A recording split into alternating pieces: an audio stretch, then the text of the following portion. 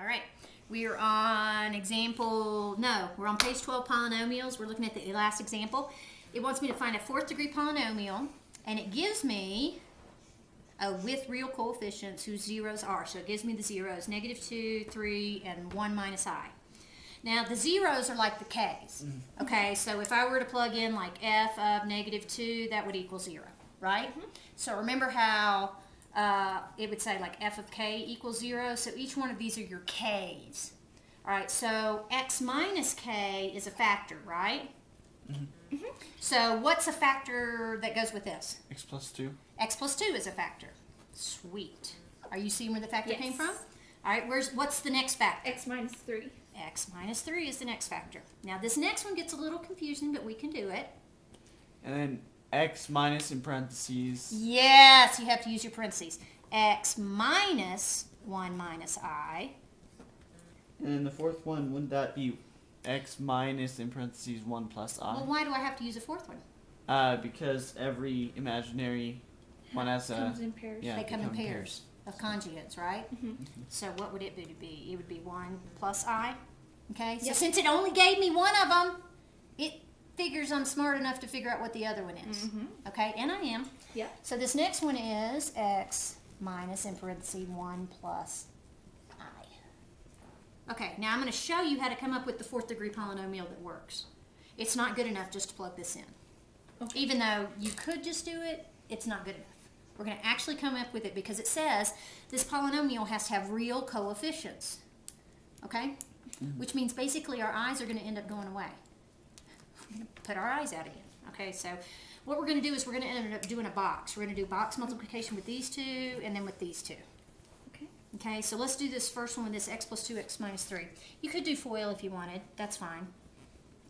Um, x2, x minus 3.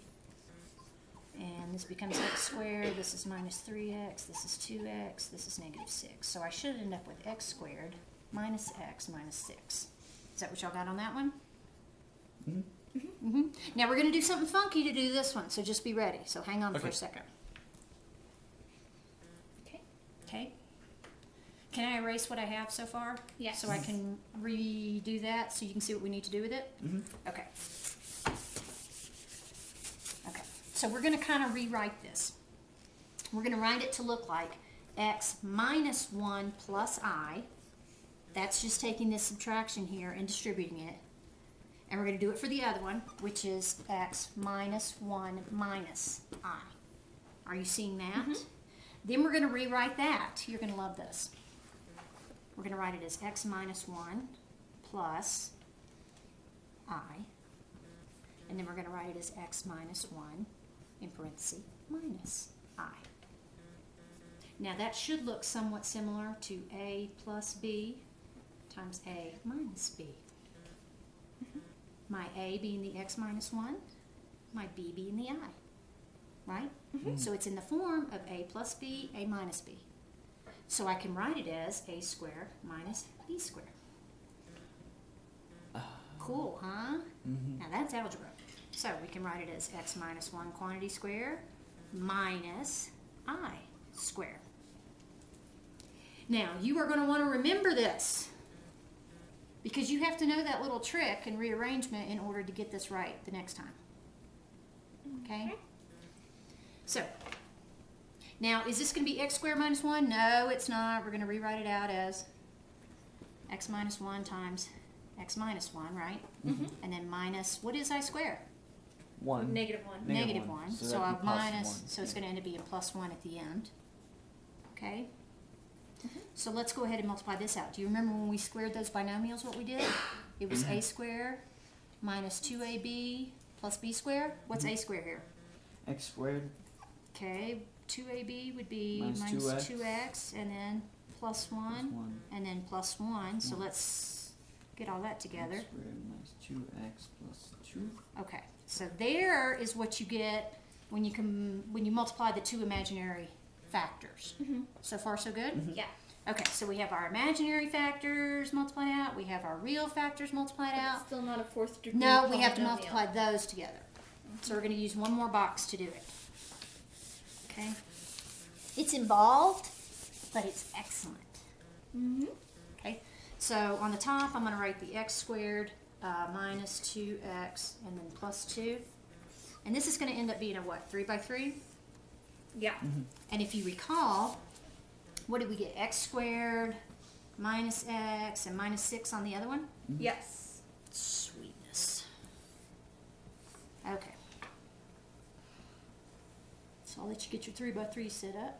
Okay. and then we're just going to multiply. Now, I really like this. You just have to make sure you have filled in every single box, and then we're going to add like terms. Okay? You can do distributing if you want, but I always end up dropping something, so this just makes it easy. All right, x squared times x squared is x to the fourth, and I'm just going to work down. Negative x times x squared is negative x cubed, and negative 6 times x squared is negative 6x squared. Okay. Next one, x squared times negative 2x is negative 2x cubed. Negative x times negative 2x is uh, positive 2x squared. And y'all just check my math, make sure I'm right. Yep. Uh, negative 6 times that would, negative 2x would give me 12x. Yep. Last column, this is 2x squared. This is negative 2x, and this is negative 12. Mm-hmm. Now, we're fortunate enough to have all the pieces, the square, the linear, the constant, the square, the linear, the constant. So on my diagonals, I will have my like terms.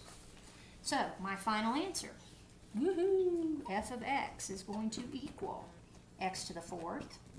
Let's see, negative x cubed, and that gives me minus 3x cubed. Negative, positive, negative 6, positive 2, positive 2, so minus 2x squared. Mhm.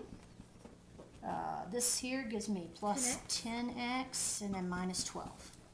And how does that look? Very cool. All right, so one thing you could do to check is you could plot this puppy in your y equals, okay? Then you could hit your trace key. And how many times is it going to cross the x-axis? Four. No. Five. How many times, how many real zeros Two. do we have? Oh, Two. So it's only going to cross the x-axis twice. You won't be able to see the other ones because it's imaginary, mm-hmm. right? But it'll still have a change in concavity somewhere else, and where that action's going on is where those conjugates are located. Mm-hmm. All right.